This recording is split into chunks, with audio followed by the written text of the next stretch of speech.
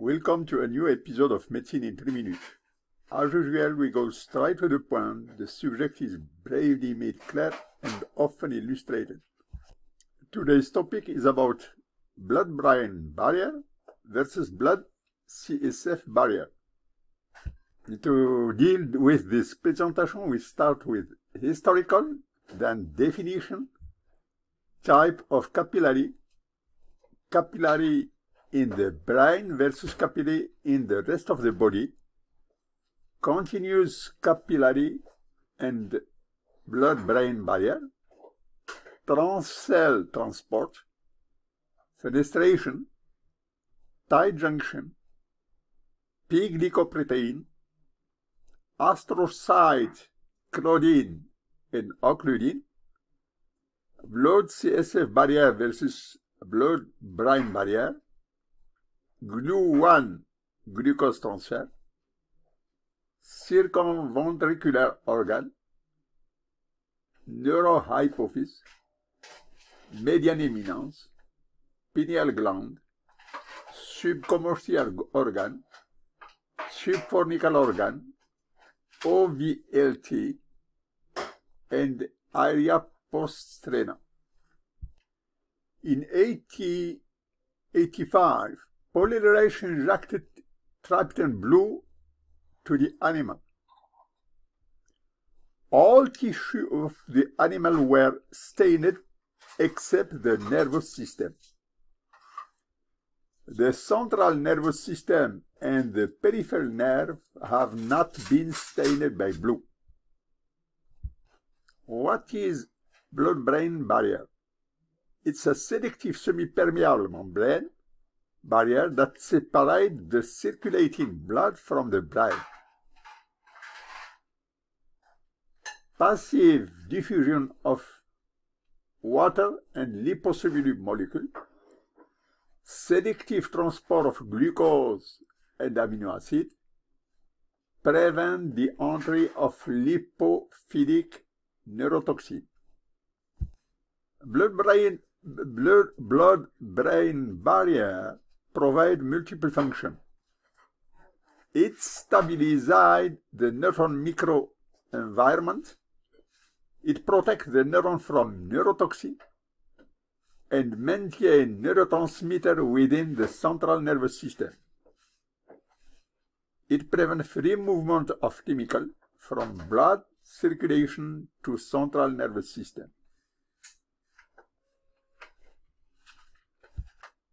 Three type of capillary.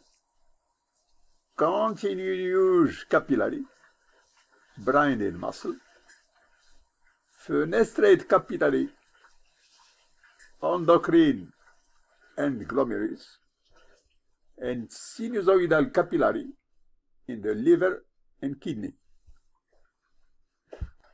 All capillary of the body there is a paracellular route of exchange between vascular system and interstitial fluid.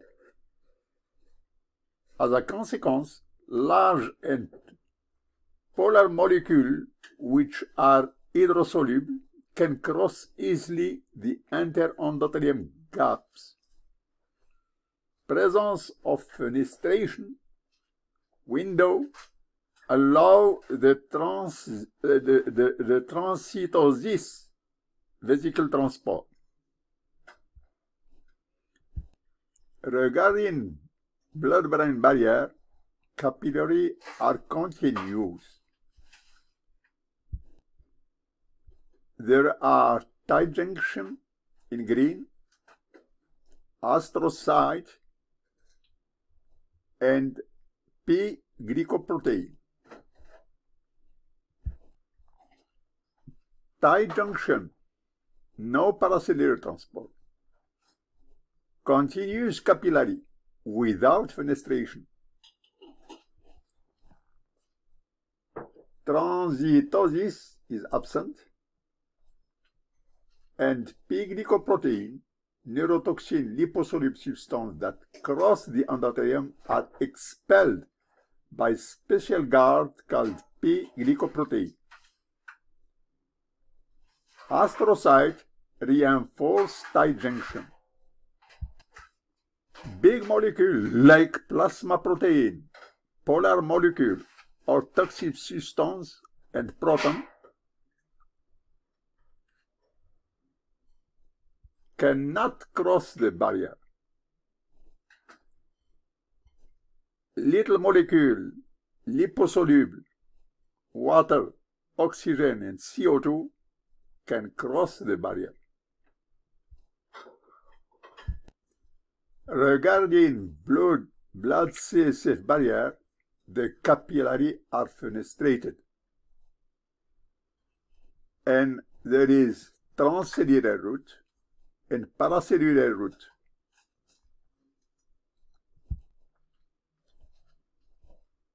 Blood CSF barrier, choroid plexus produce cerebrospinal fluid in the ventricular system of the brain.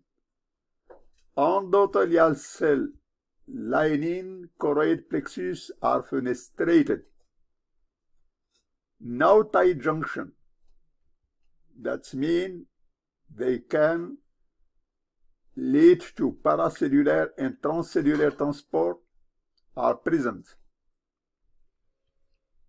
Among ependymal cells lining the ventricle, there are some modified cells called choroid epithelial cells. Choroid epithelial cells, tight junction, but no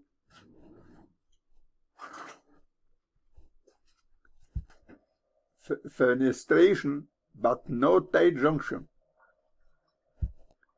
Unlike the capillary that form the blood-brain barrier, choroid plexus capillary are fenestrated and have no tight junction.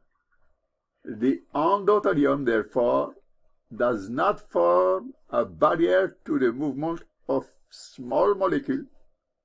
Instead, the blood CSF barrier at the choroid plexus is formed by the epithelium cell linked by tight junction.